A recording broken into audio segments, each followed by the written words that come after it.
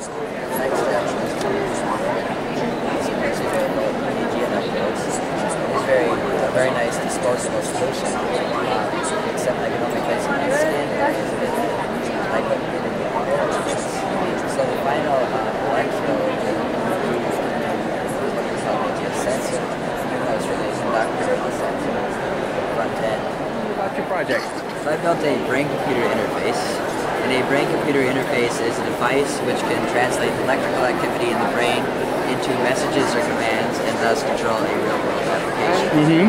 um, so I started this project back in August when Texas Instruments released a um, front end for biopotential measurements. Yeah. And this chip truly is amazing, composing eight programmable gain amplifiers and eight high-resolution 24-bit ADCs. Um, so I started with this chip, figured out how to, how to interface it, get um, data out of it, and then figured out an appropriate electrode system so I could hook up the system to my head and get actual EEG signals.